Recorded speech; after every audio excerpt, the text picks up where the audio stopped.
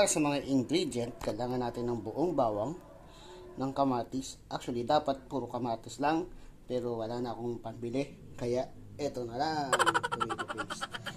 Basil leaves, para medyo Italian ng dating. White pepper, paprika, and salt. At syempre, hindi mawawala sa recipe ang bangus. Kaya nga po ang tawag natin ay bangus in garlic tomato sauce. Yan. So, i-fry po natin siya. Yung iba po, ang ginagawa po ay bake. Yan. Pero dahil wala akong pang bake, fry na lang. Kaya na nga po, isinalang na po natin ang bangus. Pagkaluto po nito, saka po natin lulutuin ang sauce. Ayan. Habang siya ay niluluto, hihiwain ko na ang mga dekado. Ayun na nga po mga kablogero, sa napilito na po natin ang bangus. This time po ay prepare na po natin ang sauce. Gamit po tayo ng star margarine. O kaya naman po butter kung meron po kayo.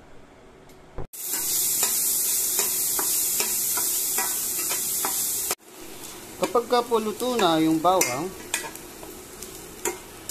lalagay naman po natin ang kamatis.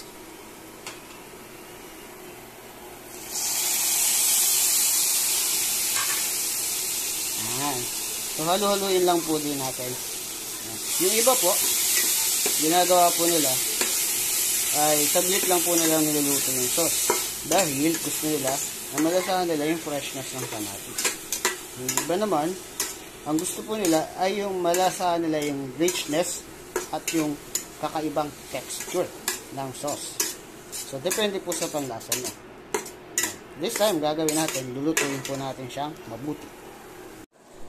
Para po sa inyong kaalaman, si Kuya Blogero po ay nalalaman ng lasa sa pamamagitan ng amoy.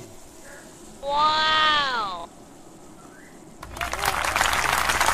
Kapag kailangan po kayo magluto, malalaman niyo po sa pamamagitan ng amoy kung kulang sa paminta, kulang sa asin, o kulang sa lasa. Ah, hindi wow. This time po, luto na po yung tomato at amoy na apoy natin yung garlic. Naamoy na rin po natin yung pinaghalong lasa ng paminta, ng ah, paprika, ng butter, saka ng salt. Ayan. So, in a few minutes, pwede na po ihain.